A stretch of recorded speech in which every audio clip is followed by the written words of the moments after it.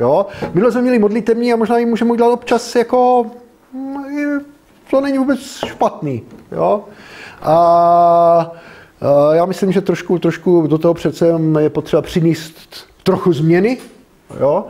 A protože ne, není nic na tom, že věci jako běží normálně, jako ono zase, že věci mění nějaký řád, ty nemusíš furt věci překopávat jenom, aby, aby byly překopany. Jo? Překopávat je kvůli překopanosti. Jo?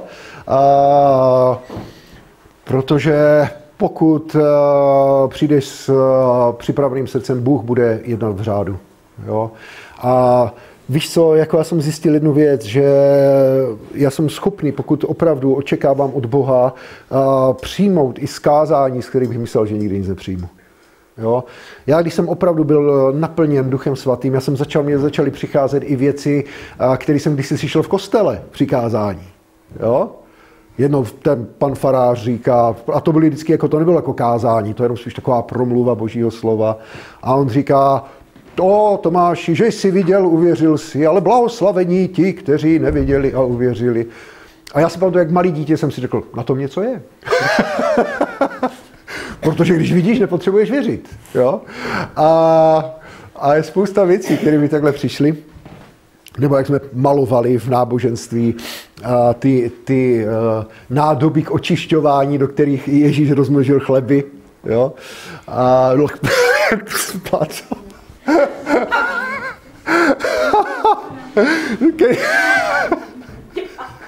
to je nová teologická perla. to bylo spojení dvou zázraků dohromady. Ježíš vzal žvány na očišťování rozložil, ve kterých, eh, do kterých Ježíš roz, eh, proměnil víno, víno, vodu ve víno. A já jsem špatně spal na dnešek, omluvte mě. A každopádně, rozumíte, jako člověk si začne, vy, nebo jak jsme měli takové obrázky, když jsme byli malí děti a tam byli ti Izraelci, jak natírají ty veřeje dveří a tou krví beránka. Jo? Je spousta věcí, které se mi začaly vybavovat jo? z božího slova. A Uh, takže, uh, každopádně, uh, já dneska budu pokračovat v tom tématu, který tady máme už docela hodně dlouho, který je jaký?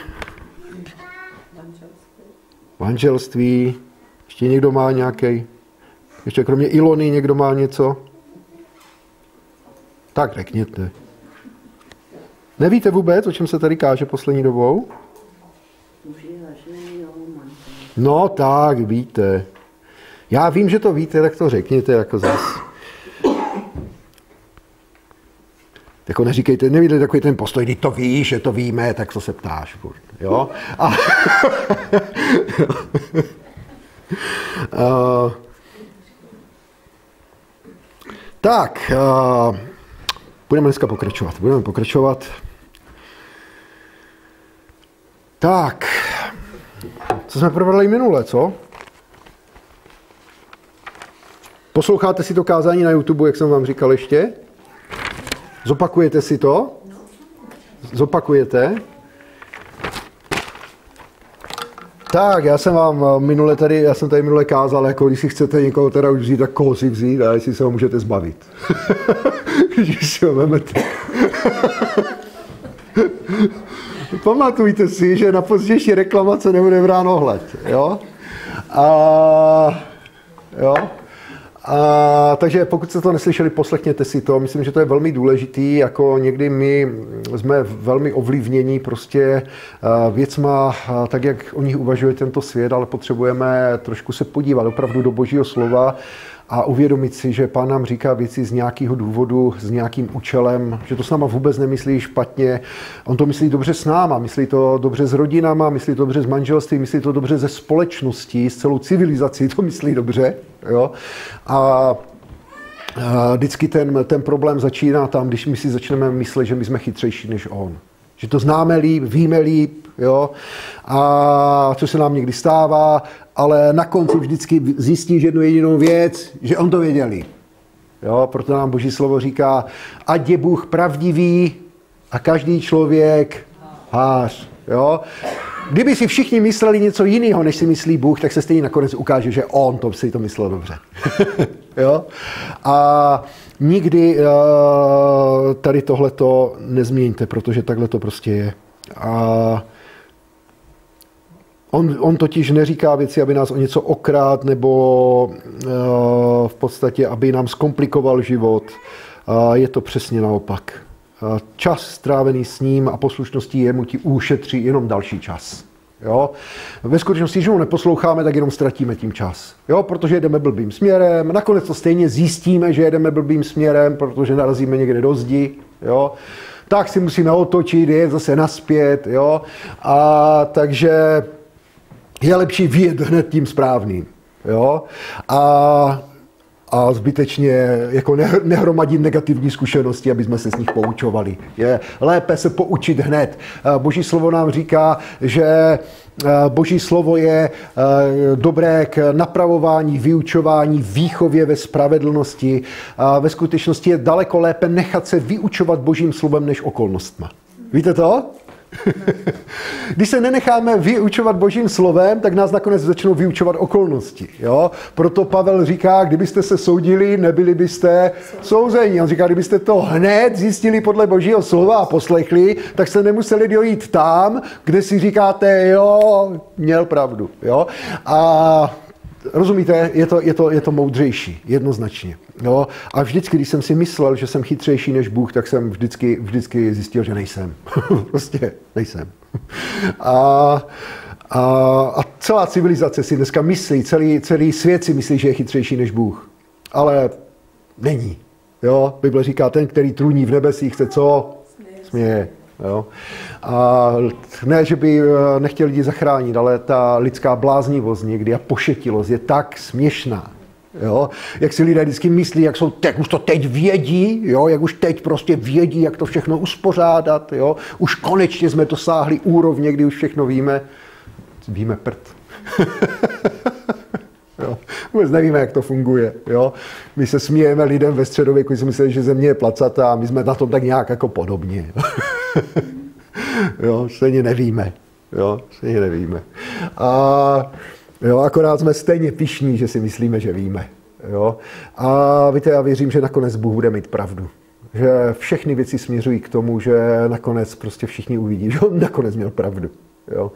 A tak, uh, takže podíváme se dneska, eh, podíváme se dál na muže a ženy, takže eh, Minule jsme se podívali, koho si vzít a případně, že už si ho, že už si ho musíš nechat. Jo? A, a druhá věc, eh, když už si z někoho vzal, tak jako co s tím. Jo?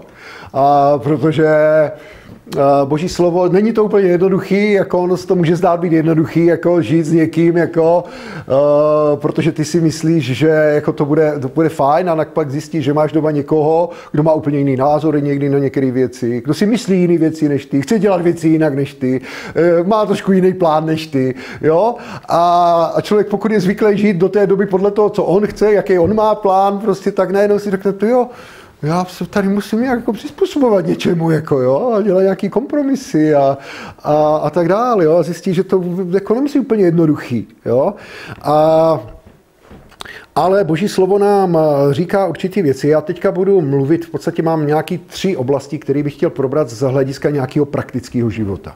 Jo? My jsme brali takové ty duchovní věci, zákonitosti určitý, proč Bůh udělal určité věci. A do určité míry Bůh nám dává určitý systém autorita, systém uspořádání věcí tak, aby mohly fungovat. Jo? Takže my se potřebujeme podívat na muže a ženy, a pozor, feministky si zacpou teďka uši a jejich roli. jo? Protože muži a ženy mají svoje určité role, ne, které nutně jsou nějak nalajnované, ale z hlediska biologického, ne teologického, pozor. A budeme se bavit o tom, že spousta věcí vůbec není dána teologicky. V teologii, je daleko volnější, co se týče mužů a žen. Jediný, jediný proč, uvidíme, že proč vlastně ta, ta společnost byla takzvaně patriarchální, že to bylo prostě z, z, z čistě praktického hlediska často. Jo, to nebylo kvůli tomu, že prostě ti muži chtěli ovládat ty ženy a vládnout jim prostě a zařídit si ten mužský svět pro sebe. Jo? A uvidíme, že kdybyste tohle řekli že nám před 300 lety, tak se vám vysmějou. Jo? A protože my máme tendenci posuzovat historii a minulost z naší dnešní zkušenosti, což samozřejmě nelze. Tak, Ono vůbec, jako když si uvědomíme taková ta dnešní ten narrativ, to jednoznačně, co jsme se bavili, z toho jednoznačně vyplývá, jako muže a ženu je stvořil, že muži a ženy jsou stejně hodnotní, jsou stejně cení před Bohem a mají stejnou hodnotu, ale pozor, nejsou stejní. Myslet si a začít programovat a propagovat, že muži a ženy jsou naprosto stejní, což dnes se propaguje, že jsou v podstatě stejní, jako je stejný nesmysl, jako si myslet, že je tady sto pohlaví. Jo? To je úplně stejná blbost. Jo, úplně stejně nesmyslná myšlenka. Jo, fakt. Akorát už je hlásána tak dlouho, že, že už si myslíme, že to tak je, ale není to tak. Jo, jeden psycholog řekl, že není, nejsou dva, dvě rozdílnější tvorové na zemi, než je muž a žena. Jo? A protože muži a ženy prostě jsou jiní, jsou jiní fyzicky, jsou jiní psychicky, jsou jiní hormonálně, jsou jiní v každé oblasti. Jo? A to neznamená, že ženy nemůžou dělat věci, které dělají muži a tak dále, ale je, jsou tři oblasti, ve kterých se na to potřebujeme podívat a získat tam nějaký pravdivý náhled. Protože pravda nás co? Osvobodí, aleluja. Pokud se cítíš pravdou svázán, asi to možná nebude pravda. Jo? A nebo to nechápeš správným způsobem. A potřebujeme se podívat na tři oblasti eh, vztahu mužů a žen, a to je manželství, to je služba, jo, obecně služba v církvi a to je obecně společnost. Jo? Protože ty věci se vzájemně prolínají jo, e, určitým způsobem, ale boží slovo k ním má co říct. Jo? A já dneska se budu zabývat některým, některýma věcma, který možná, když, když byl žena, tak se mi budou zdát být jako takový, že bych je radši někdy přeskočil v té Bibli. Jo? Máte to ženy někdy, jako já nevím, jak, jak to máte, jo? Protože to někdy jako vypadá, jo, jako že, ale potřebujeme porozumět tomu, porozumět těm věcem, proč jsou napsaný, jo? Někdy prostě lidi povrchním čtením si myslí, že třeba Apoštol Pavel prostě byl nějak proti ženám zaujatý a že se je snaží dostat nějak prostě mermomocí prostě úplně do, do nějakého kouta ale zjistíme, když opravdu čteš Pavlovi dopisy, jeho pozdraví, jo, koho tam zdraví, jo, s kým spolupracuje, tak zjistíš, že to tak vůbec nebylo. Jo? A znovu, a je potřeba oddělit jasně tady tyhle ty tři sféry, manželství, službu a obecně veřejný život. Jo? Tam je potřeba, protože někdy ty největší zmatky vznikají tím, že lidi domíchají tyhle ty věci dohromady a myslí si, že když je o mužích a ženách, tak je to obecně o mužích a ženách a tak dál. Jo? A musíme si taky podívat, jak vlastně některé věci uspořádat v dnešní době tak, aby byly uspořádány spravedlivě a správně. Jo? Protože přece jenom jako doba se trošku změnila. Jo? Otázka, jestli je to dobře, špatně, nebudu teďka úplně řešit, jo? ale jsou věci, které, obzvlášť co se týče manželství, někdy musí být trošku přeuspořádány, Protože ve skutečnosti, když se podíváme na to, čemu co říká ženská emancipace, ona, že nám docela ublížila v některých oblastech. Jo? Ona je jako jim nedala, nedala úplně výhody, ona na ně nadspala daleko víc práce a zodpovědnosti, než měli kdy v minulosti. Jo? Takže a to vzniká, z toho potom vznikají prostě fakt jako těžkosti a je potřeba s tím něco dělat a je potřeba na to se fakt jako podívat, eh, jak to je, eh, protože eh, potom tady budeme mít spoustu přetížených ženských, jo? a a já jsem na straně, já nejsem na straně ani mužů, ani žen, já jsem na straně božího slova, ale každopádně chci, aby eh, všichni, všichni aby to byla vždycky win-win situace. Rozumíte? A ve vztazích to Bůh vymyslel manželství a stvořil muže a ženu tak, aby to mohlo být win-win. Jo? A ve skutečnosti já věřím, že naprostou většinu e, dějin, aspoň co se týče křesťanských dějin, křesťanských zemí, nebavím se o muslimských třeba, jo? ale křesťanských, e, tak zjistíme, že kdybyste se žen zeptali, jestli by chtěli být muži, jako v minulosti, tak by vám řekli, eh, ne, Jo? A mužu, jestli bych chtěl, tak řeknu, ne, já jsem rád, že dělám to, co dělám. A žena by vám řekla, já jsem ráda, že dělám to, co dělám, a že nemusím dělat to, co dělá můj muž. Rozumíte? Uh, Oni si, vždycky je to tak, aby si každý myslel, že vyhrál. Jo? A takhle to hrozně dlouho fungovalo, akorát přišlo, přišla spousta věcí, které narušily nějak vůbec ten systém toho fungování a toho, toho dělení té role. Protože samozřejmě optimální společnost eh, vzniká, eh, nebo znakem, jako čistě z ekonomického hlediska, vyspělé optimální společnosti je co? Vysoká dělba práce, což znamená, každý dělá to, co umí. A každý dělá to, co mu jde nejlíp. Jo? Když budeš někoho, komu moc to nejde, nutit, aby to dělal, tak on nebude efektivní v tom. Jo? A proto je potřeba si uvědomit, že muži a ženy jsou jiní a že asi v určitých oblastech jim bude vyhovovat dělat něco jiného. Jo? A Není to tak vždy, jo? některé ženy jsou velmi dobrý i na, na některé mužské věci, jo? A nemají vždycky úplně ženské uvažování, ale průměrně jo? to nějak tak bude.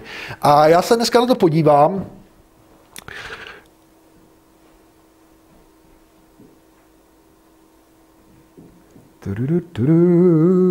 Takže podíváme se dneska na to uspořádání, co říká Boží slovo o manželství, co říká o rodině a Znovu potřebujeme začít v Matouši v 19. kapitole.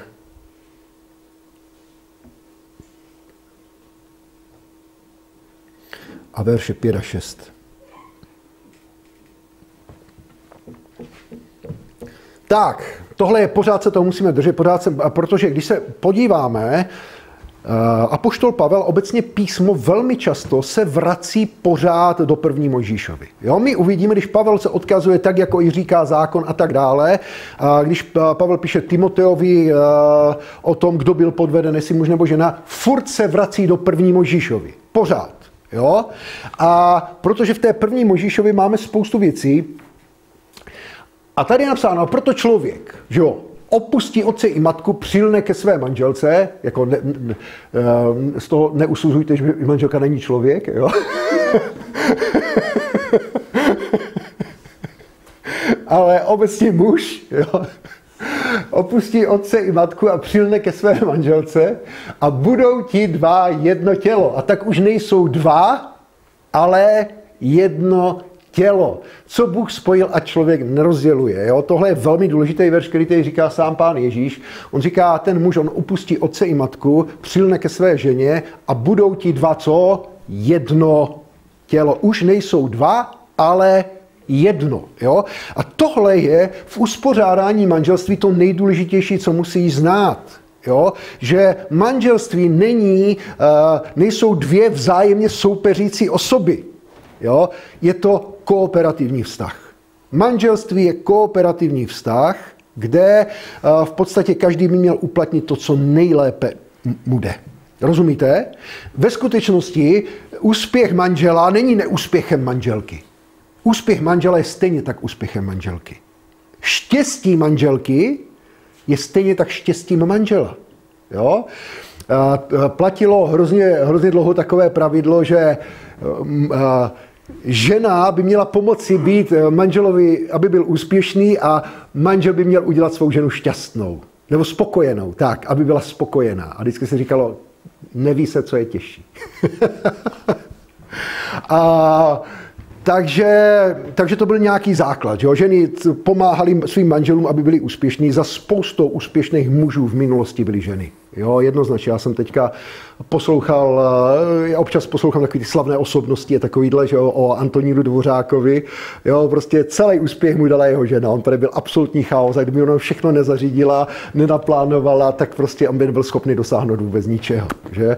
Martin Luther, jako podobný, že jo, on si vzal tu Katarínu Jan Bora jako, a, a tam mu srovnala život. Jako.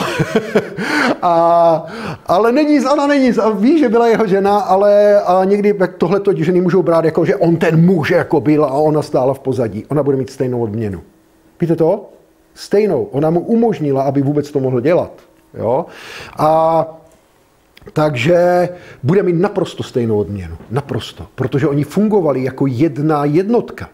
Jo? On byl ten, který byl jako vidět, ale ona byla ta, která to v podstatě zařizovala, jako v, v, v zázemí tomu dávala vůbec, aby to bylo možné. Takže takže takhle to fungovalo. Podívám se, že dneska se kapku věci proměnily. Jo? Jako neznamená to, že to tak musí fungovat. Jo?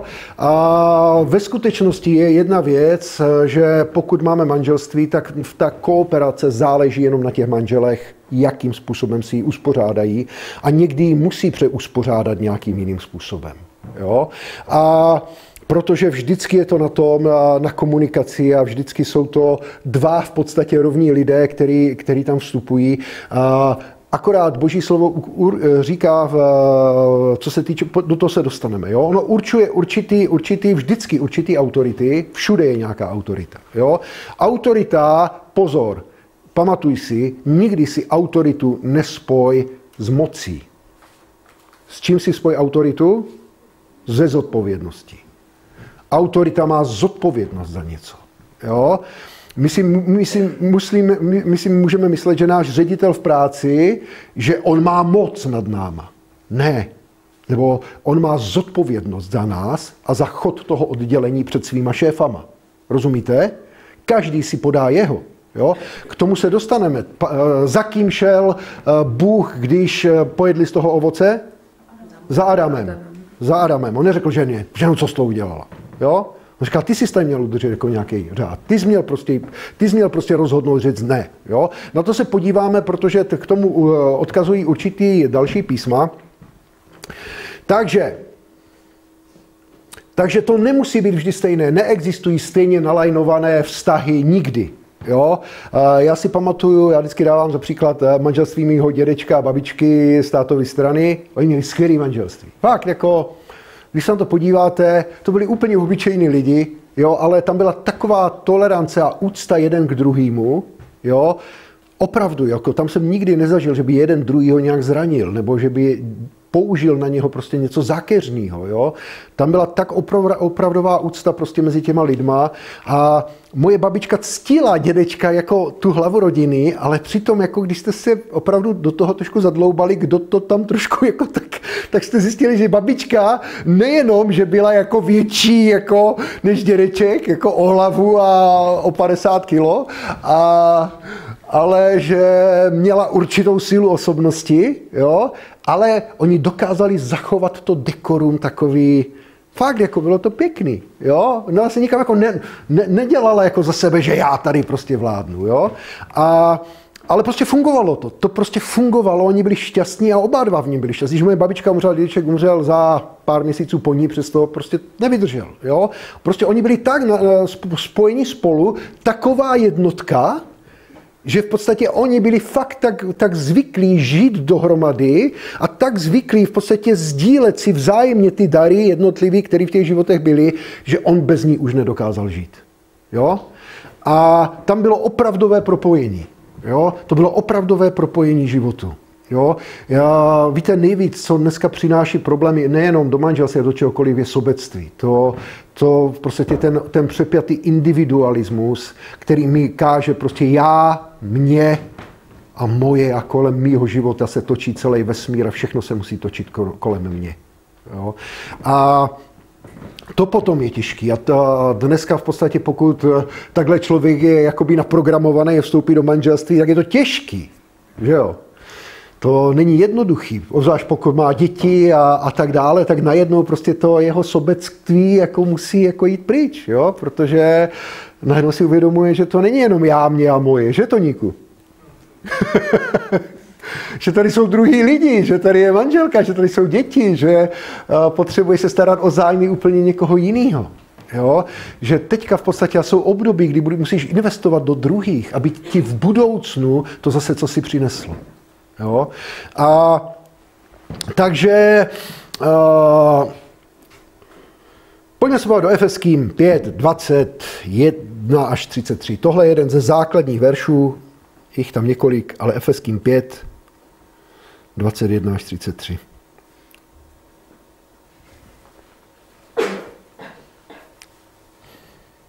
Efeským jsme probírali, takže takže budete vědět, trochu se možná budete chytat. Tady se říká, poddávejte se jedni druhým v boží bázni. Jo? Je evidentní, že poddání se není vla...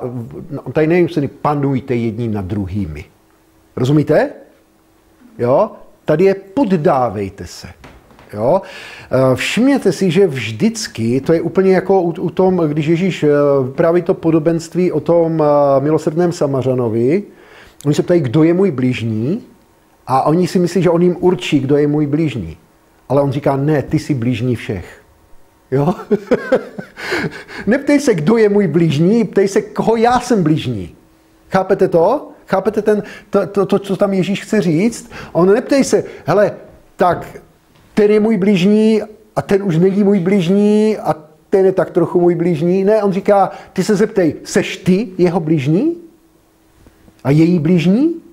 Jo? On to obrací a namísto toho, aby tu zodpovědnost být blížním e, dal na někoho druhého, jo? tak tu zodpovědnost být blížním dává na mě.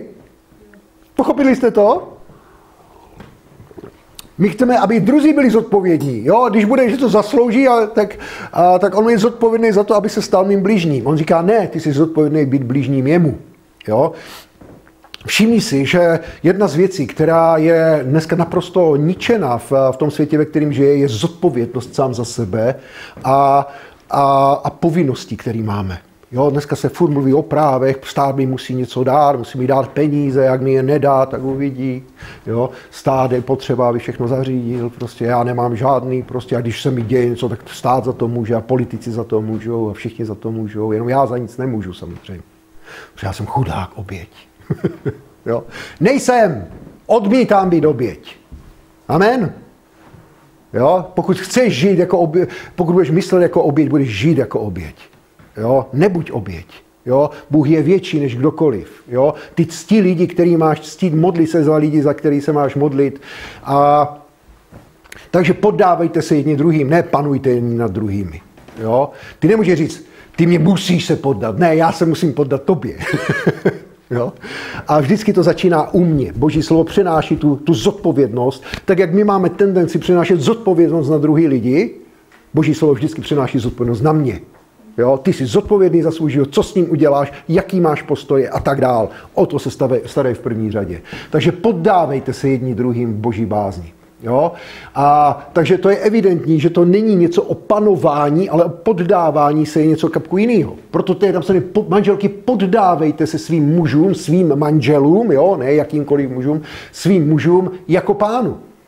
Vždyť muž je hlavou své ženy. Ve skutečnosti, uh, ona říká, poddávejte se svým mužům jako pánu. Ve skutečnosti do určité míry pokud to žena nedělá, jo, tak eh, v určitém smyslu jako je v určité jako neposlušnosti vůči Bohu. Jako, jo. Tady je napsáno, poddávejte se svým mužům, jo, jako pán. Jo, to potom vysvětlím trochu. Vidím, že některý jste trošku vyjevený. A jako pánu, vždyť muž je hlavou své ženy, jako Kristus je hlavou církve. A on je spasitelem světa. Muž je hlavou své ženy. Jak je to myšleno? Jo? No, když uh, se to netýká nějakých věcí, které by byly proti eh, lidskému svědomí nebo proti Bohu a tak dále. Protože ve skutečnosti uh, ta hlava, uh, hlav, to, že muž je hlavou ženy, on není její duchovní hlavou. Čistě ve fyzickém uspořádání toho manželství on je hlavou. Protože oni jsou jedno, co? Tělo. Jo? Bible říká, ten, kdo se připojuje k pánu, je s ním jeden duch. Jo? Čili pozor, muž není žádnou duchovní hlavou ženy. Žena má přístup, přímý přístup k Bohu jako každý jiný. Jo? Manželka má přímý přístup k Bohu. Jo? Je to čistě z fyzického uspořádání. Jenom z jednoho jediného důvodu, jak říkal vždycky Todd, všechno, co má dvě hlavy, je nestvůra. Jo? A takže uh, tak, jako je Kristus uh, hlavou církve. Podívejte se na to přirovnání. Jste rádi, že je Kristus hlavou církve? Jo? Že ženy by měly být rádi, že je jejich muž jejich hlavou, ne? Prej málo není jak Kristus. Ale ve skutečnosti ta logika je tady stejná. Rozumíte? Protože Kristus není hlavou církve kvůli tomu, že je to nějaký komandant. On je pán, určitě ale Bible říká, že se o ní stará. Jo? To je ta hlava, to je zodpovědnost. Jo? To není o, Uh, uvidíme se my jenom díky tomu, že žijeme v období, kdy, kdy ten zlej bílej muž prostě dal takovou, prostě dotáhl tu civilizaci do takového bodu, kde v podstatě všichni žijeme v takové pohodě, tak se nám některé věci zdají být jakoby přísný nebo přemrštěný, ale ve skutečnosti naprostou většinu dějin nebyly. Jo? A tak, uh, tak jako i Kristus je hlavou církev, on je spasitelem těla. Jako se tedy, Kristu, eh, se tedy církev poddává Kristu, tak ať se i manželky ve všem poddávají svým mužům. Muži, milujte své ženy. Všimni si, to není jednostranný. Milujte své ženy, jako i Kristus miloval církev a vydal sám sebe za ní, aby ji posvětil, když ji očistil koupelí skrze slovo aby ji postavil před sebou jako slavnou církev, nemající poskvrnu ani vrázku, ani cokoliv takového, ale aby byla svatá a bez úhony. Tak jsou i muži povinni milovat své manželky jako svá vlastní těla. Kdo miluje svou manželku, miluje sám sebe. Nikdo nikdy přece neměl své vlastní tělo v nenávisti, ale každý je živý a opatruje tak jako i pán církev. Neboť jsme údy jednoho těla z jeho masa a jeho kostí. Proto člověk opustí otce i matku a přilne ke své manželce a budou ti dva jedno tělo. Toto je veliké tajemství, já však mluvím o Kristu a o církvi, ať však taky každý jednotlivý z vás miluje svou manželku jako sám sebe a žena pak, ať má svého manžela v úctě. Všimněte si, že myslím, že eh, to, že muži mají milovat svou manželku, je tady víckrát, než že ženy mají ctít svou muže. jo? Tady je vzájemná věc. Tady je, Bible říká, to funguje jako mezi, mezi eh, Kristem a církví.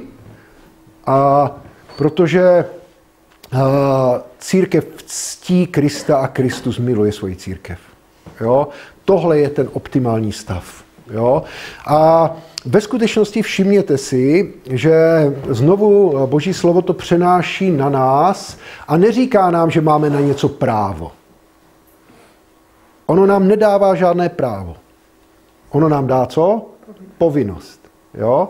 A každému z nás dává povinnosti. Když se podíváš, dává nám povinnosti vůči šéfům, kdybychom šli ještě do dalších vztahů, jo? Poslouchejte své přirozené pány, poslouchejte ty, ty, kdo vládnou a tak dále a tak dále. A nedává nám tady v tom vztahu k lidem žádná práva, dává nám povinnosti. Jo? A, a protože tady je určitá určité mechanismy, jo, které fungují. Jo. Kdybychom se na to podívali, Bible říká, že žena je schopna svého manžela získat bez jediného slova jenom svým chováním. Jo? A já si myslím, že to je většinou ten, ten problém. Jo? Že uh, v podstatě ten, je něco na tom, takhle, takhle třeba David Jongičo uh, to dělali v celé své církvi, se, první uvěřili ženy a časem uvěřili jejich muži. Protože je vyučoval tyhle ty věci, jak muž uvěří. Muž uvěří tak, jak boží slovo říká, že uvěří. Věříte tomu? ne? Ale pamatujte si, že to je pravda. že to je úplně jedno, jestli si ti to zdá být pravděpodobně. A ty neznáš mého chlapa. To je prostě pije a, a, a řve a dělá prostě bugr. Jo? A ty ho neznáš. Bůh zná, Bůh, Bůh ho stvořil. Bůh přesně ví, co na něho bude platit nakonec. Jo? A každopádně, jo, a tady je nějaký, že jo, takže tady je napsáno, poddávejte se svým manželům, jako je církev poddána Kristu. Jo? A muži, milujte své ženy. Pokud jsi muž, tak ne, ne, své ty mě musíš poslouchat. Jo? Ty jsi moje žena, Bible to říká. Ne, Bible říká, že ji máš milovat. Jo? Bible neříká, že máš své ženě nařizovat, aby tě poslouchal. to je tvoje zodpovědnost. Udělej si svoji zodpovědnost. Jo? Plň si svoji zodpovědnost, svoji povinnost. Jo? A pamatuj se, že Bůh zařídí tu druhou stranu. Jo? A protože tady se nám říká, my totiž máme takovou, takovou tendenci jako obecní jako lidé. Já se budu k lidem chovat dobře, až se oni lidi budou chovat dobře ke mně. A Bible říká, takhle to jednají pohané, že jo, oni zdraví jenom ty, který je zdravý, jo. A, a totiž to je, to je takový lidský uvažování. A, ve skutečnosti tady Boží slovo říká, ctít, ženy ctěte své uh, manžely. Jenom když jsou super, jenom když jsou to fakt jako skvělí chlapi, jako no pohádka. jo, pohádkovej, mám manžela, to není co vytknout vůbec. No já si nemůžu vzpomenout, co vydělal špatně. Jenom v tomto případě, jako ho máš ctít? Jo? Bible říká, že dokonce máme ctít vládce i nejenom dobré, ale i ty zlé a kruté. Jo? Když se týká vlády. Jo? To je ještě další věc. Jo? To někdy lidi taky nevědí. A to znamená, že v podstatě eh, Bible říká, že to máš ctít svého manžela, i když není ctí hodný. Manžel má na druhou stranu milovat svoji ženu, i když není milování hodná. Chápete to? Myslíte, eh, teďka všechny ženy, co se tvářily, jako myslíte, že vy jste vždycky milování hodný? Jo. Jo? jo? Že vždycky to nejvíc, co manžela napadne, ty já fakt, fakt tu ženu miluji, jako to je úžasná, jo? Rozumíte tomu? Jako já vám říkám, některý ženský jako dokážou být hrozný furie, jako jo. jo. A, jo, jako ono, ono se hodně mluví jako o tom domácím násilím, jako tam je to poznat, když je přijde s moněm, jo, ale někteří chlapi jako trpí jak, jak zvířata. A, a Bible říká, že jako neustále zatékající voda je žena svárlivá. To je horší, jo? to je něco, jako ženská, ženy jsou prostě jiný, jo? Uh, ženy jsou, uh, prostě tam je ten, ten, ten, ten vůbec, jako celý to jednání je takový skrytější, dlouhodobější, chlapi se vybouřej a je konec, jo? Ale vždycky ne, to je takový, Bible říká, jako neustále zatékající voda, jo? To je, víte, bylo, bylo takový, třeba Němci to používali za války, když potřebovali dostat z někoho doznání, když můžete někoho se snažit zbít, třeba začnete ho mlátit, jo, abyste z toho mě vymlátili. Ale je taková věc, že když ho zbijete už hodně, že ten člověk už přestává vnímat, protože ten adrenál, všechno se to vyplaví a ten člověk už začne být v takové agonii, že už bude mlátit dál a dál a on už prostě nereaguje. Jo?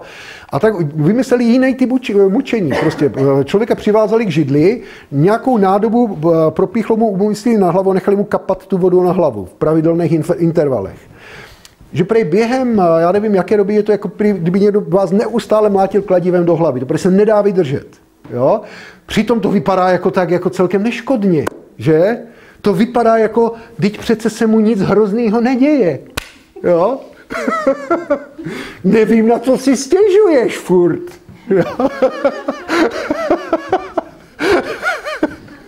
jo?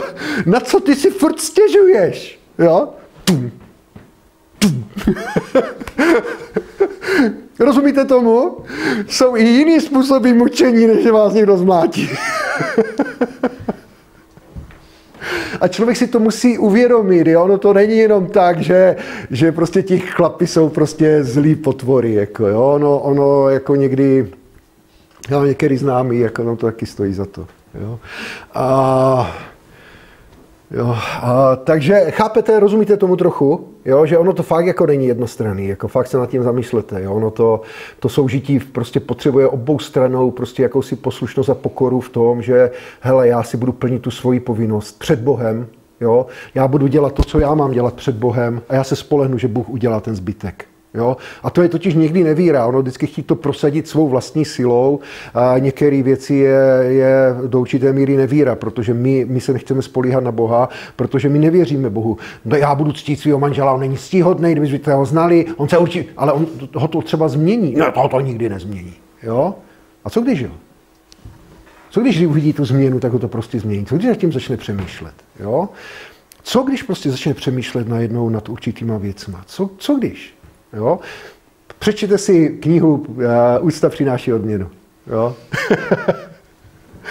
Jsou tam skvělé příklady. Jo? Skvělé příklady. A víte, většina věcí v našem životě je o víře a nevíře. O tom, jestli Bohu věříme, že to bude fungovat, nebo nevěříme. Jo? Protože my často máme svoje vlastní názory. Jo? A to vždycky moje mama. Tatine, já bych tě to neměla říkat, ale...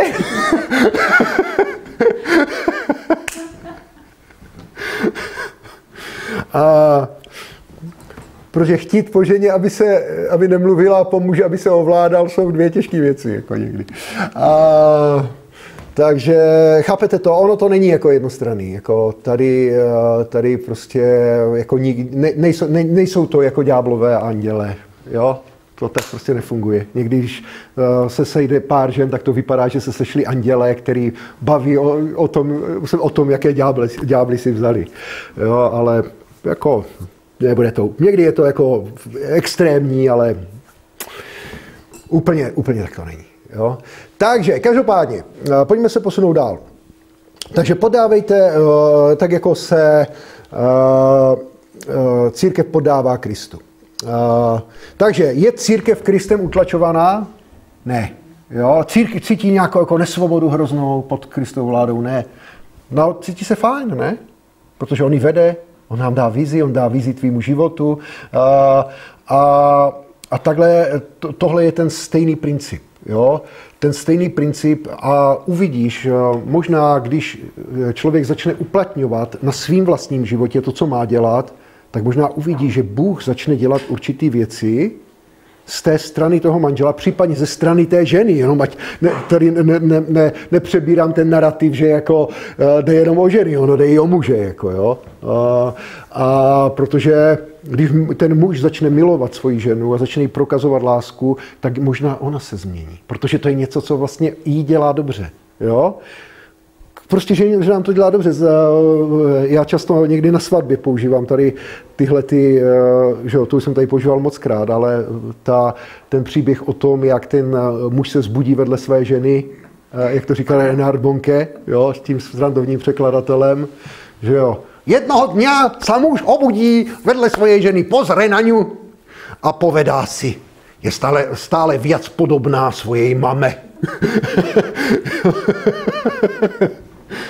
už, už viac nelúbim svoju ženu. Je podobná svojej mame, už, už ju nelúbim, nelúbim ju, asi sa rozvediem. Nedá sa nič robiť. Jo? A tak nad tím uvažuje a řekne si, ale veď tak dlho jsme spolu. Já se vlastně nechcem rozvěst. Co mám robiť? A tak na, najednou uvažuje, a čo ho nenapadlo? Obudil svoju ženu. Ona pozerá na, ně, na něho, on na ňu a on povedá, a říká, on říká, honey, I love you, jako miláčku, miluji tě. On to překládá jako Anka, já tě lubím. A, a druhou noc to, to jisté. Obudil svou ženu, povedal je, povedal je, Anka, já tě lubím. A tak to robil noc co noc. A čo sa nestal? Pre, a na, nakoniec tomu uveril. Ale čo sa nestalo? Aj Anka tomu uverila. A někdy, někdo musí zaujmout eh, pozitivní postoj. Jo? Jinak začneš hloubit příkop. který je nezasypatelný. A rozumíte tomu? Prostě některé věci psychologicky prostě fungují. Jo? Na muže hrozně dobře, muži jako mají jako takovou skrytou trošku ješitnost v sobě. Jo? Oni chtějí být trošku obdivováni. Jako, jo? A prostě je to tak trochu v nich, úplně stejně jako ale ženy chtějí být milovány a chtějí být obdivovány v tom, že prostě jim to sluší, že eh, si ten manžel váží toho, že uvařili, že to je výborný, že jim poděkuje, že se... Rozumíte? To jsou věci, které někdy se stanou prostě takovýma... To, moje babička s, eh, s dědečkem, jako to bylo vždycky oběd, to byl svátek. To, oni vždycky se pomodlili, děkujeme ti, pane, za oběd, potom pojedli, poseděli, podívali se na sebe a babička řekla, tak co, taťku, jaký to bylo? Že já už jsem vám to říkal, že to bylo fakt jako ne moc dobrý, tak řekl, matko, ušlo to pro změnu, jo, pro změnu ušlo. No, si pochutnal, tak řekl, matko, pošmákl jsem si, pán zaplať. Jo? jo? A rozumíte, nevznikl tam žádný, žádný problém, jo? nemuseli na sebe, jo?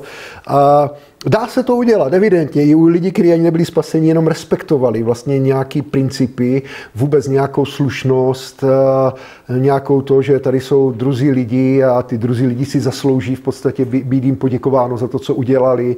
Jo? Ctí je za to, že vlastně taky něco dělají, že v podstatě věnují něčemu svůj čas, že to není automaticky, není to samozřejmé. Jo? Řeknu to každému ženatýmu muži, to, že tím žena uvaří, že máš jídlo až pod nos, že se ti berou opraný trinky někde sami od sebe prostě ve skříni, to není automaticky. jo. Rozumíte? A já si dokážu takových věcí vážit. Jo? Když někdo pozve na oběd nebo něco, jako říkám, wow. A, tak, ale pojďme se posunout dál. A, Pojďme se podívat, takže je církev utlačována Kristem kvůli tomu, že mu podává? Není. Stejně tak pojďme se podívat do 1. Korinským 11.3.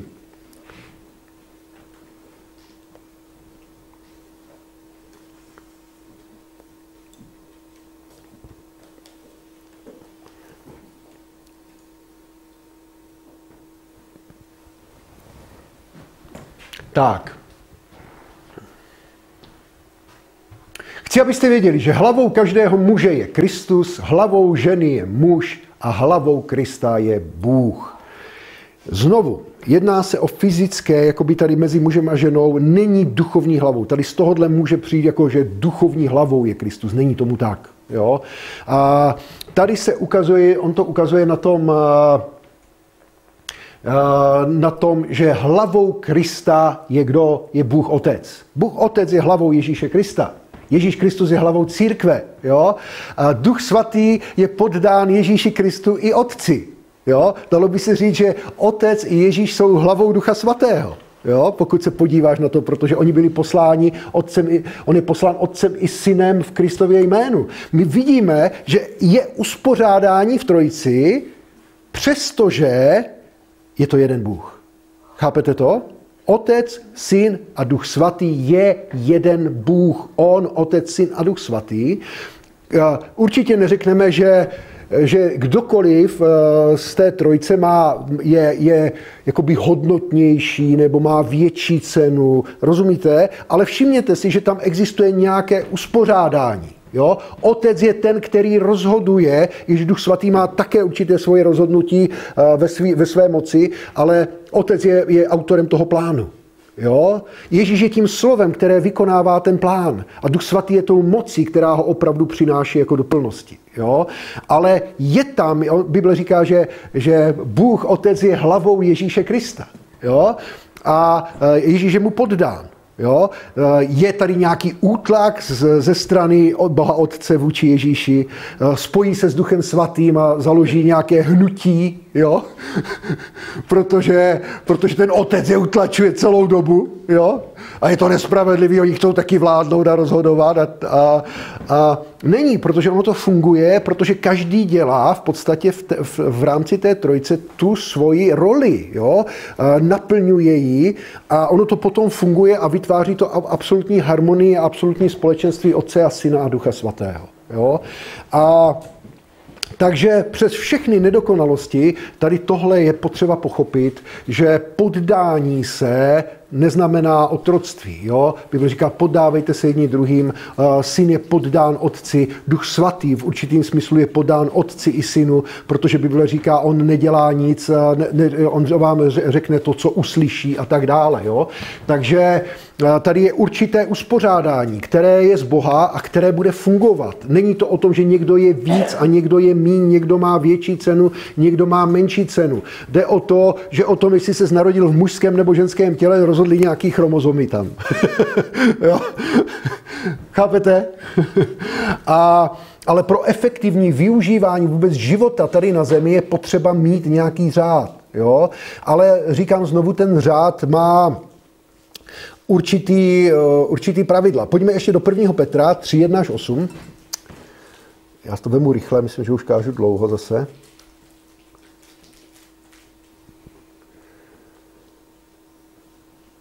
Jo, tady tohle je o, to, o čem jsem tady mluvil.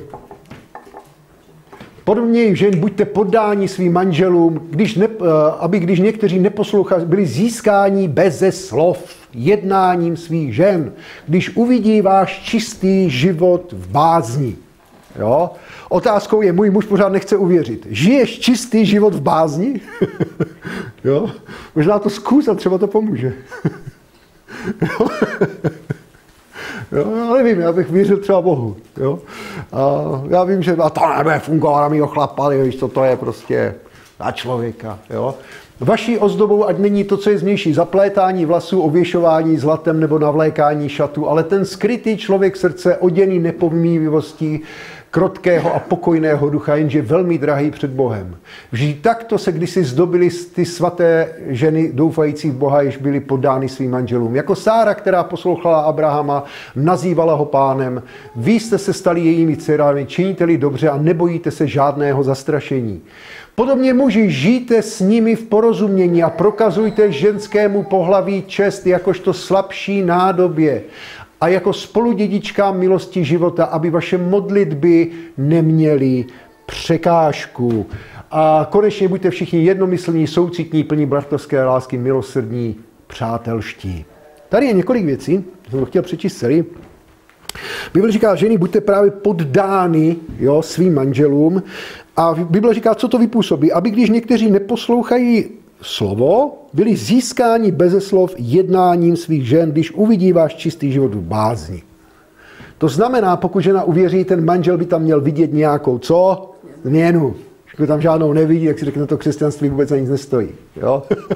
A chápete? On řekne, to je, je to jenom prostě povídačka. Jo? Tam je ženská, prostě je furt stejná. Jo? A a Bible říká, že můžou být bez slov získání, nejenom nějací charakterní. Jo? Znovu je spousta příběhů toho, jak tohle může mít vliv na to, jak ta proměna ženy promění muže. Protože oni jsou co? Jedno tělo. Jo? A, takže vaší ozdobou, a není to,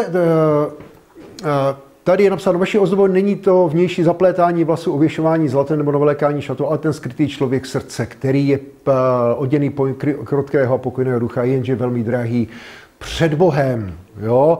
Boží slovo někdy říká určitý slabosti mužů a určitý slabosti žen. Boží slovo říká, že muži ať zvedají své ruce v modlitbě bez hněvu.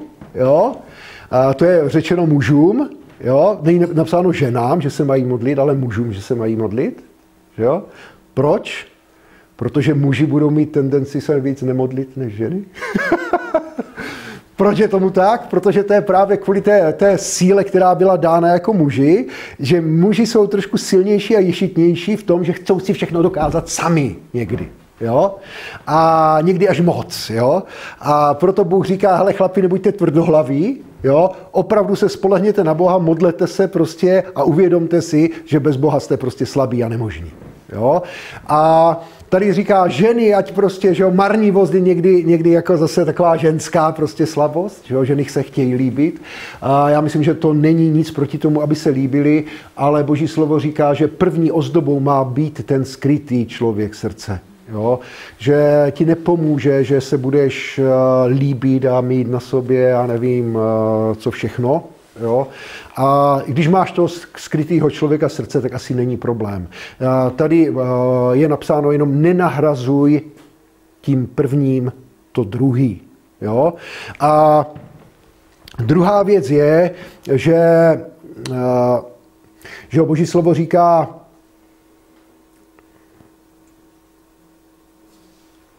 Boží slovo říká, že Sára poslouchala Abrahama, nazývalo svým pánem. Když se opravdu prostudujete život Sáry, tady by to mohlo vypadat, že Sára byla úplně jenom nějaká taková ušlápnutá žena, nebyla ani náhodou, jo. Dokonce Bůh jenom řekl, poslechni svoji ženu, jo. Řekl, poslechni názor své ženy, že jo. Když ona řekla, že má vyhnat tu služebnou, že jo, a Hagar, že jo, s tím, a on říká, poslechni, co ti říká tvoje žena, že jo, Sára měla spoustu nápadů. jo, a zjistíte, že ty ženy jako starozákonní nebyly jako úplný ořezávatka, že prostě fakt jako se dokázali někdy jako postavit, jo. Na druhou stranu v čemu poslouchala? Když Abraham řekl, výjdeme z Uru Kaladejských, výjdeme do Cháranu, z Cháranu výjdeme dál, tak eh, pro Sáru tohle, to Sáraj to nemuselo být úplně jednoduchý, protože Ur nebo Cháran, nevím, jak to bylo, ale Ur, byl, byl, to je patrný nejstarší město na světě, nebo jedno z nejstarších. A, a bylo velmi moderní na svou dobu. Jo, to bylo fakt jako bydlet v dnešní jako moderní metropoli. Já myslím, že měli kanalizaci, uh, že tam prostě měli veškerý prostě luxus, který jste si v té době jako v městského života mohli dopřávat. Jo? To znamená, jak byste dneska žili, já nevím, v Praze nebo v Londýně nebo v Paříži, v podstatě v nějaké metropoli, spíš asi v Londýně než v Praze. Jo? A nebo v New Yorku a vám řekne prostě chlap, pojď, balíme se a jdeme někam, nevím, bereme stan. Jo? jo? Chápete to, protože no vůbec nemuselo být jednoduchý. Já myslím, že se jí to dokonce možná ani nelíbilo. jo? Ale pokud k němu mluvil Bůh, tak bylo potřeba, aby, aby ona ho následovala. Jo? Mohli se rozhádat. A, a, takže někdo tam musel mít to slovo, někdo musel udělat to rozhodnutí. Chápete to? Jo, protože jinak, jinak, když opravdu nebude nikdo, kdo by udělal to rozhodnutí, a samozřejmě, že se asi na spoustě věcí domluvili. Jo? Ale pokud tam nemá někdo to poslední slovo, tak je možný, že, že se potom nikdy nikam nepohnou. Jo? Tak, uh, takže. Víte, někdy uh, spousta věcí je potřeba uh, určitým způsobem nově uspořádat. Víte, kdo může za ženskou emancipaci nejvíc? Může. To je pravda, ale jeden, jeden konkrétní. Jmenoval se Gavrilo Princip. Víte, kdo to byl? Ten, co zastřelil arcivévru Ferdinanda v Sarajevu. Víte proč? Protože první světová válka byla první průmyslovou válkou v dějinách. Jo? A Eh, spotřebovávaly se prostě miliony nábojů do děl, munice, do kulometů a tak dále a to potřebovalo se všechno vyrábět a vyrábět. A vidíte dneska, jaký je problém s municí, třeba co se týče války na Ukrajině, kolik se toho vystřílí a v první světové válce se vystřílelo neskutečný. Pokud se podíváte, prostě to bylo dělostřelectvo prvně v životě prostě na Hilsnový náboj, jako by v první válka snad na náboj jako v Hilznách a tak dále, který se vyrábělo průmyslově. No a co se nestalo? Všichni muži byli na frontě a tohle to všechno potřebovalo potřeboval někdo vyrobit. Jo? Takže v Anglii to začalo, udělali obrovský továrny, postavili nový, protože zjistili, že potřebují asi, já nevím, 50 krát víc munice než do té doby, kde udělali moderní provozy prostě na výrobu munice a řekli si, jak koho my tam ale zaměstnáme, když muži jsou. A tak řekli, zkusíme tam ty ženský dát. No a navíc, jako, protože tam byli ještě muži, tak odbory vymohli těm ženám, aby měli stejné platy, jako měli muži. Protože se báli, že kdyby muži, ženy dělali zamín, že by je ten zaměstnavatel vyhodil, nechal by si ženy. Jako, jo? Takže ženy v ten moment v Anglii, to, o tom jsou celý, celý povídky o tom, že najednou měli hrozných peněz, muži byli na frontě a oni prostě řádili v Londýně.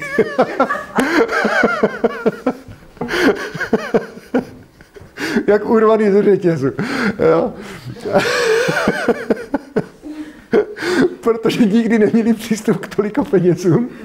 A, a úplně to stejný se zopakovalo ve druhé světové válce, takže válečný průmysl přinesl ženy prostě do výroby. Jo? A, a po válce do značné míry už to prostě zůstalo, protože samozřejmě ti kapitalisté si najednou uvědomili, že tady mají obrovské množství pracovní síly, která byla nevyužitá. Jo? A, takže takhle to vlastně celý vzniklo, jako takhle to začalo. Jo, můžou za to, můžou za to války. a někdy ty věci jsou daleko, daleko jiný, než si lidé myslí.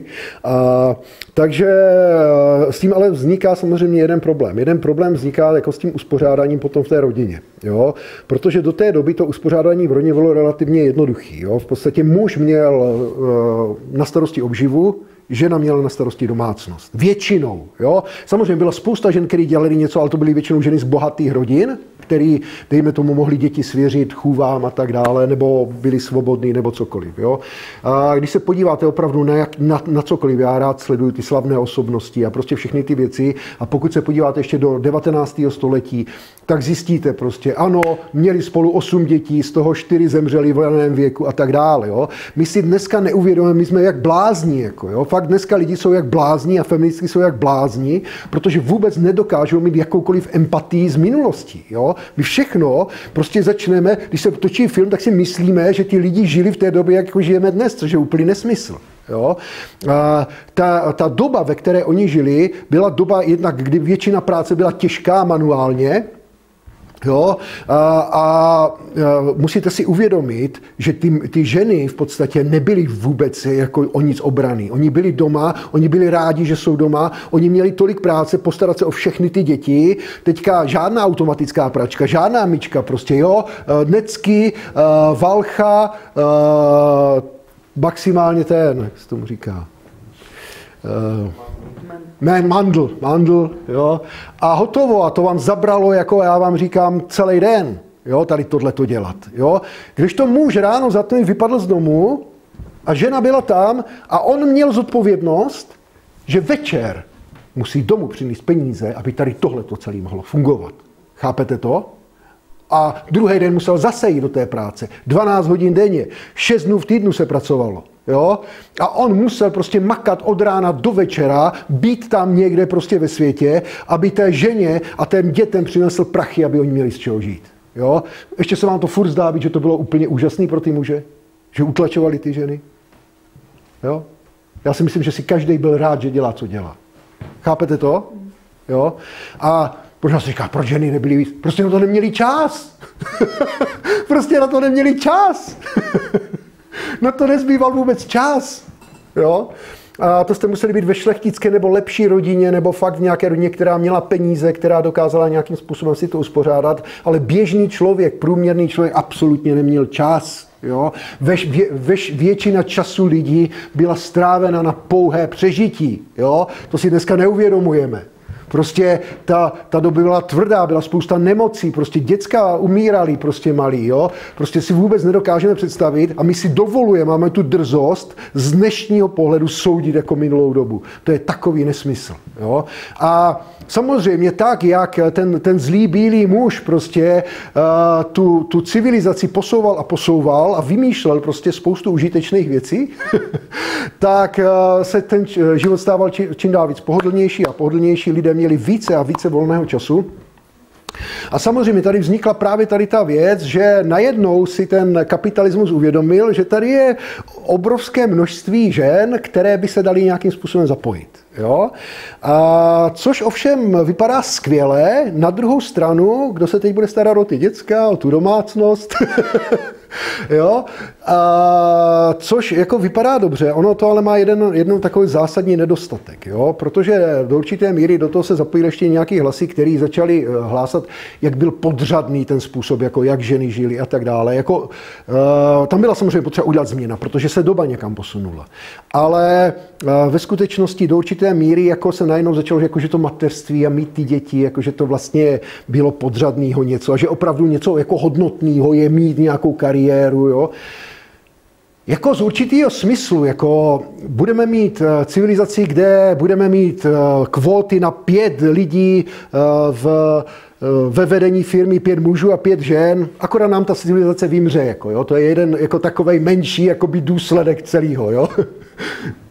Nahradí nějaká vitálnější civilizace, která na nějaký kvóty nebude hledět. A, já ne, Ježíš se vrátí. a rozumíte tomu? Takže jenom, eh, ať to dokončím, jo, tady potřeba s tím něco samozřejmě dělat, jo, protože ve skutečnosti, jestli někdy ženy žily v nespravedlivém světě, žijí v něm dnes. Dnes je to nespravedlivé, ne před 150 lety. Tehdy to bylo naprosto spravedlivé. Dneska ta nespravedlnost uh, tkví v tom, že často muž je 8 hodin v práci, žena je 8 hodin v práci, muž přijde domů z práce, zapne telku, Žena přijde z práce, stará se o děti, vaří prostě a muž chce ten komfort, který měl kdysi, když nosil dom všechny peníze. Jo? A to není možné.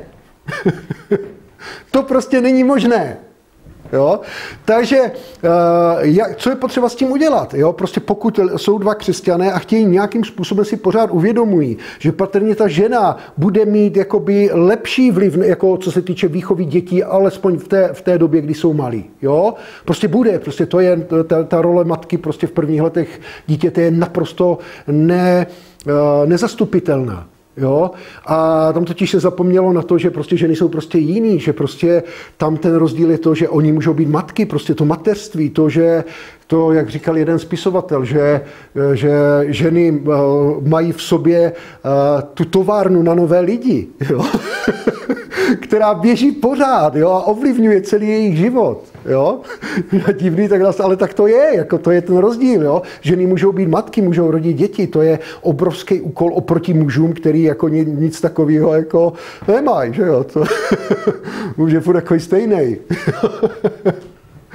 a a, takže každopádně, pokud eh, v podstatě muži předali část své zodpovědnosti na ženy, Jo? A pokud ten manžel předává část své zodpovědnosti na svou manželku, nutně jí musí předat i část autority. Jo? Protože to je něco automatického. Musí předat, musí s ní sdílet. Samozřejmě, pokud chce mít muž dneska veškerou péči a veškerou autoritu, tak musí být schopný vydělat tolik, aby zabezpečil svoji rodinu a aby žena holce mu udělá veškerý komfort. Jo? Ale eh, na druhou stranu samozřejmě dnes už to není tak, že ženy mají osm dětí a perou na valše a, a mandlujou a podobné věci. Přece jenom jako někam to postoupilo, dětí je míň, a ta, ten, tam, ta mechanizace jako a automatizace domácnosti je někam, ale kaž, na nějakým jiným, eh, eh, na nějaký jiné stupni, ale každopádně musí to vrátit vždycky v tom manželství do toho, aby to byla win-win situace. Což znamená, že pokud eh, manžel chce, aby ta dět, žena se opravdu starala o děti, eh, aby přinášela určitý komfort prostě a, a, a tu, tu domácnost prostě, protože to ženy dokážou daleko líp než muži. Jo, nechte muže se starat někdy o děti a to není úplně dobře. jo? Ale na druhou stranu on ten manžel musí té ženě ulevit. Jo? Potom musí říct, hele, já budu pracovat víc a ty si najdeš jenom nějaký zkrácený úvazek, jo? budeš pracovat jenom 6 hodin nebo 4 hodiny denně, jo? nebo nějakým způsobem eh, to zařídíme tak, aby v podstatě ty se teda mohla věnovat víc té domácnosti, víc těm dětem a já si na sebe vemu větší zodpovědnost, eh, co se týče přinášení peněz. Rozumíte tomu? Jo? Chápete to? Jo? Protože jinak je to opravdu nespravedlivé. Jo? Jinak je, to, jinak je to nespravedlivé, jo? protože to by bylo fakt, jako to, to by ty ženy vlastně si na sebe upletly byť celým tím, tím pokrokem. Jo? A takže, protože, jako já říkám, ono často, když chcete některé věci, někdy, někdy ten, ten tlačený pokrok má úplně opačný efekt nakonec, jo. Protože žena, jako, když má přijít vůbec, jako ten, jak funguje žena, jo. Žena ráno vstane, musí stát daleko dřív než muž, když jde do práce, protože muž prostě trošku při úpravy vlasy hodí na sebe něco a jde, jo. si. jo. A když přijde kapku jakoby rozcuchaný do práce a má trošku knoflíky eh, na křivo zapnutý, tak to každý má za rostomilý. Ale zkuste, když žena přijde rozcuchaná, knoflíky na křivo tak si kolegy říkal, co to je, co je to? Jo? A protože navíc, jako muži se strojí kvůli ženám, ale ne kvůli druhým mužům, ale ženy se strojí kvůli druhým ženám, to je dokázaný. Jo? A taková jakási konkurence mezi ženami. A Každopádně je tady spousta věcí, o kterých bych se dal mluvit, ale, ale každopádně je potřeba samozřejmě přinést nějakou spravedlnost jo, do toho manželství. Jo? A opravdu se tam musí, jak ten muž, tak ta žena cítit dobře a nikdo, a oba, obě, obě dvě ty strany se musí cítit tak, že, že, že nejsou jakoby totálně jako v nějaké nevýhodě. Jo? Mělo by to být win-win, každý by si měl říct, hele, ta, ta, ta role, ve které já jsem, ta část moje je skvělá a nechtěla bych tu druhou vlastně. Nebo nechtěl bych tu druhou. Rozumíte tomu? Jo? A Protože ano, tady je opravdu pravda v tom, že je potřeba přinést nějakou novou spravedlnost, pokud došlo k nějakému novému rozdělení té, té zodpovědnosti, musí se přerozdělit autorita a musí se určitý věci trošku změnit tak, aby nikdo nebyl přetížen. Jo? Protože to, co, co mělo jakoby pomoct těm ženám, jim nakonec může ubližovat. Jo? Chápete to? Souhlasíte se mnou? Jo? Jo? Takže já myslím, že to je i, i, i Bůh je rozumný Bůh. Jo? On není jako nerozumný. Jo? On, je, on, on, on má víc rozumu, než my máme. Jo? A pokud já dokážu tady na tohle to přijít, že, že asi fakt není normální, aby ženská prostě makala 8 hodin, pak doma nastoupila druhou směnu a makala a muž nic nedělal. Jako to, to prostě je ostuda toho muže. Jo? A Jo, a takže, takže ta, tam to je prostě součást té lásky, muži ať milují své ženy.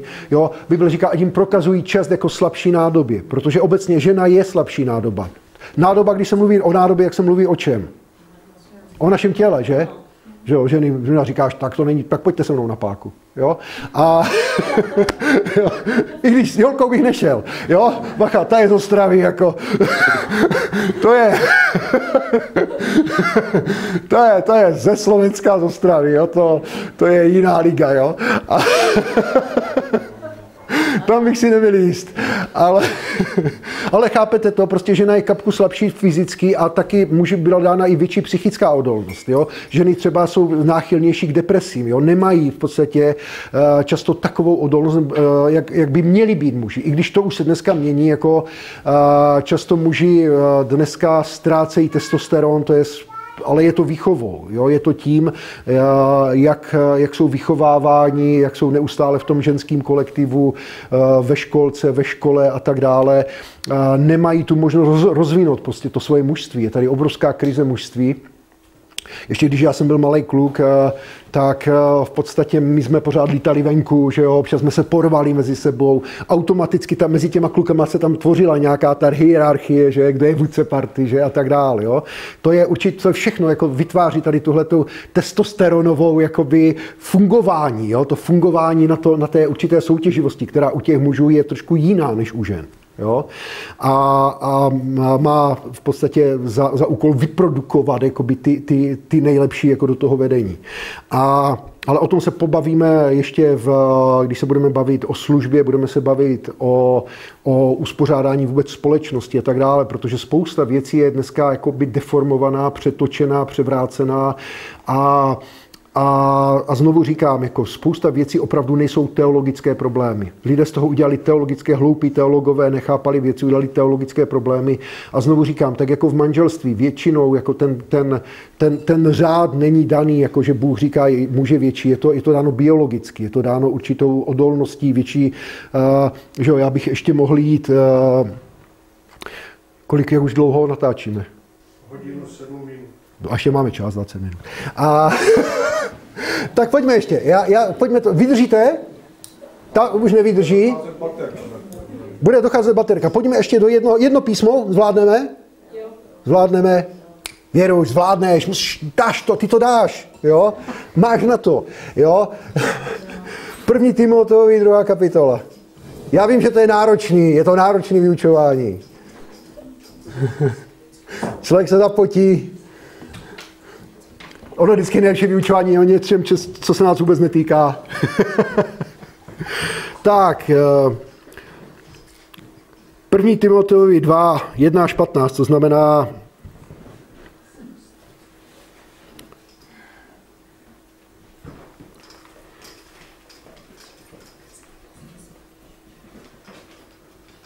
Tak, pojďme si přečíst celou tu kapitolu, ať máme kontext, jo? Ať máme kontext, ještě to zvládneme, ještě to zvládneme. Tak, Především pak žádám, aby se konaly prozby, modlitby, žádosti a díků činění za všechny lidi. Jo? Především eh, eh, za všechny, za krále i za všechny, kdo jsou ve vysokém postavení, abychom mohli vést klidný a pokojný život ve vší zbožnosti a počistosti. To je náš cíl. jo? A neboť eh, to je dobré a vzácné v očích našeho spasitele Boha který chce, aby všichni lidé byli spaseni a došli k poznání pravdy. Jo? To je boží záměr ve, vše, ve všem, v čem s náma jedná. Je přece jediný Bůh a jediný prostředník mezi Bohem a lidmi člověk Kristus Ježíš, který dal sám sebe jako výkupné za všechny na svědectví v patřičný čas. K čemuž jsem já byl eh, postaven zakazatele a apoštola, říkám pravdu v Kristu, nelžu za učitele pohanů ve víře a pravdě. Proto si přeji, aby se muži modlili na každém místě zvedajíce svaté ruce bez hněvu a bez pochybování. Podobně také ženy, aby se zdobily upraveným odějem s cudností. To jsme tady probírali, že? A rozvahou, že jo? Když si něco oblečeš, tak si rozmyslí, co si oblíkáš. Ne zaplétáním vlasů zlatem, perlami nebo drahým rouchem. To se nám opakuje, ale dobrými skutky, jak se sluší na ženy, které se hlásí ke zbožnosti. Ať se žena učí v tichosti s veškerou poddaností. Vždyť nejdříve byl stvořen Adam, potom Eva. Adam nebyl oklamán, ale žena byla oklamána a upedla do přestoupení. Bude však ochráněna během rození dětí, zůstanou-li ve víře, lásce, svatosti s rozvahou. Že jo? To je další věc, která, kdybych byl žena, tak si řeknu, hele, tohle ke mně nepřipadá moc fér, jako tohle napsaný, jako že, jako žena je někdo jako mý, nebo jo? A Tady je několik věcí. Znovu on tam říká ty mužský, a ukazuje, že muži a ženy jsou jiní, že jo? Tady právě ukazuje muži, ať se modlí zvedajíce ruce, jo? A potom ženy, ať se zdobí upraveným oděvem, jo? Ve cudnosti a tak dále. Ať to příliš jako nepřehání, jo? E, protože zase mužská slabost někdy je ješitnost, jo? Ženská marnivost, jo? A on ukazuje, že tady jsou určitý jiný rizika, A potom eh, pokračuje jo? a říká, žena ať se učí eh, v tichosti, nebo ať je učí. Jako to, to ale odkazuje znovu na manželství. Jo? A ať se učí v tichosti a s poddaností, jo? nebo ať se nechá poučit s tichostí a s poddaností. Ženě pak nedovolí učit ani ovládat, jo? a tady je dobře na jejího muže, jo? nebo poučovat a ovládat. Jo? Obecně žena nemá být v podstatě herdek baba, která prostě drží toho uh, muže pod pantoflem. Na druhou stranu, pokud je muž pod pantoflem, je to i jeho chyba. Jo, protože nezabírá často uh, to místo, který má zabrat jo, v tom životě. A on říká, vždy nejdřív byl stvořen Adam, potom Eva. A Adam nebyl oklamán, ale žena byla oklamána a upadla do přestoupení. Tak, proč je to tady napsané? Tady je napsáno, žena byla oklamána, upadla do přestoupení. Eh, jaký to má, jakou to má souvislost? Ještě některý vydržte. No, jenom chvíli. A, a přijde to to nejlepší. Tak, eh, a tady napsáno, žena byla oklamána, upadla do přestoupení. Jo? Proto on tady říká, ať se žena učí, ženě pak nedovoluje poučovat, ovládat jejího muže. Jo? Musíte znát kontext. Proč je to tady napsáno? Je to tady napsáno kvůli tomu, co Pavel píše dál. Neboť nebyl okladán, neoklamán muž, ale byla oklamána žena. Jo? A totiž on odkazuje na Eh, v podstatě eh, Genesis, že jo, ve třetí kapitolu, a tam je napsáno, za kým šel had. Za Evou. Proč šel za Evou? Proč nešel za Adamem? Protože ví, že ukecá. Že ukecá snadněji, než by ukecal Adama. Jo? Protože si uvědomme, eh, prostě ať si to chceme přiznat nebo ne, ženy jsou více emocionální a muži jsou více racionální. Některé ženy jsou velmi racionální, a, ale obecně platí to, že ženy jsou více emocionální, muži více racionální. Abych vám to mohl tady dát, já pracuji v bance, máme teďka spoustu podvodů různých a já vám řeknu, na co, na co dostanou podvodníci ženy a na co dostanou podvodníci muže. Jo? Ženy velmi často jsou, to je klasika, že přišla, já bych chtěla poslat peníze do Turecka, já nevím, jak na to. A já říkám, a komu je budete posílat? Ale jednomu známému je budu posílat. A, a znáte číslo účtu? On mi to tady napsal, to číslo účtu. A, a znáte ho fakt? Jo, no, já jsem ho nikdy, jako vyšlo to, že ho nikdy neviděla, tak ona, tady to máte, tak mi poslala, poslala ten WhatsApp a na tom, na tom Whatsappu byly, jako jsem dělal trošku té, té konverzace, a tam bylo miláčku, jo, taky už máš krásné slunce, už vyšlo a tak dále. Nějaký borec, že z Turecka hrozně zamilovaný, jo, a píše jí takovéhle věci. A ona mu prostě se rozhodla, on potřebuje asi, asi 400 tisíc poslat, jo. Já říkám, a on vám je nevrátí, jako, ale on mi je vrátí, jo, to já všechno vím, jo, tak říkám, já vám je pošlu, jako, vaš. Takže poslal jsem, že, že nikdy nic neviděl. Pozor, to ještě není konec příběhu. Za půl roku přišla, že potřebuje reklamovat kartu, že nikdo vybírá z karty. Jo, a já vidím zase utraty v Turecku všude, prostě na, na e-shopech. Já říkám, nedala jste nikomu číslo karty, CVC kód? A no, já to, já to nebudu dávat, tu reklamu. Ona ještě ne, že jí zebral 400 litrů, ona ještě mu prostě ukecala za půl roku později, aby mu dala ještě číslo karty. Jo?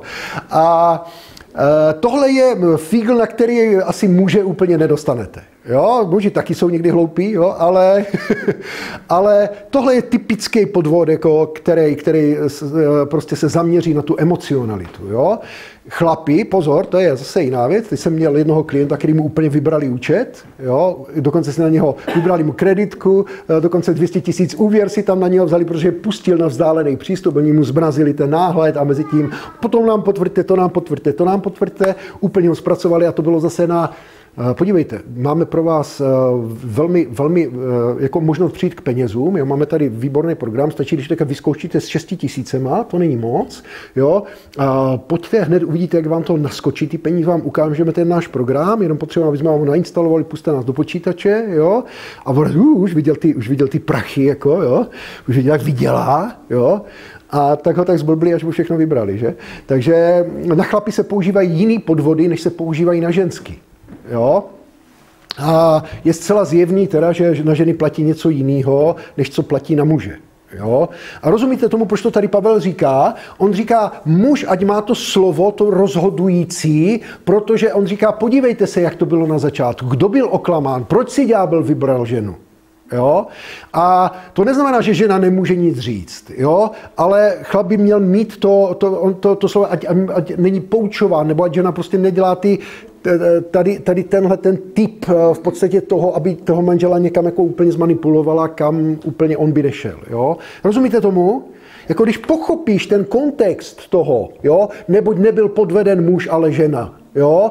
Proto je lépe, když muž v podstatě bude činit ta racionální rozhodnutí, jo? někdy, jo? Než, je, než aby je činila žena. Jo?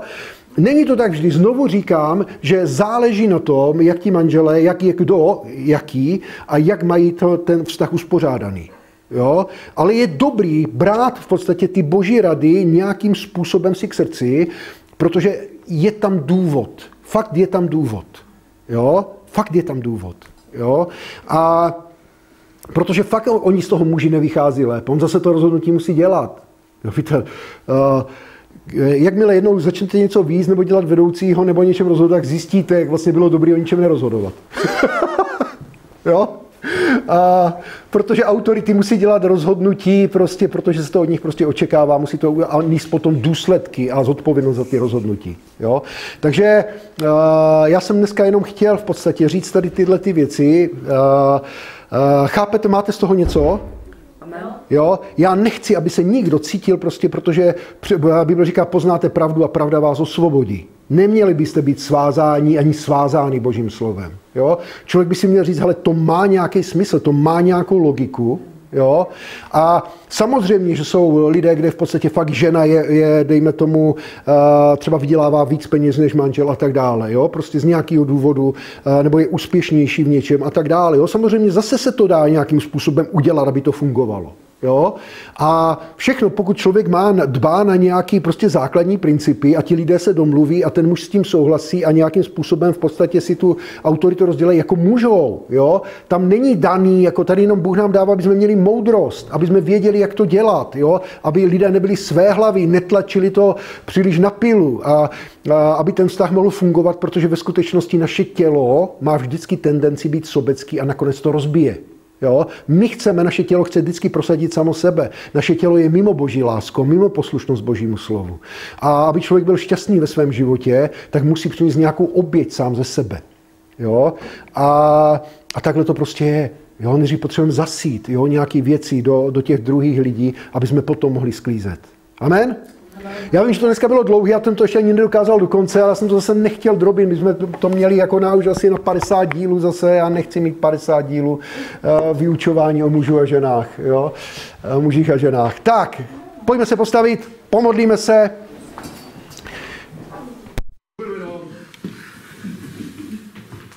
Slyšeli jste slovo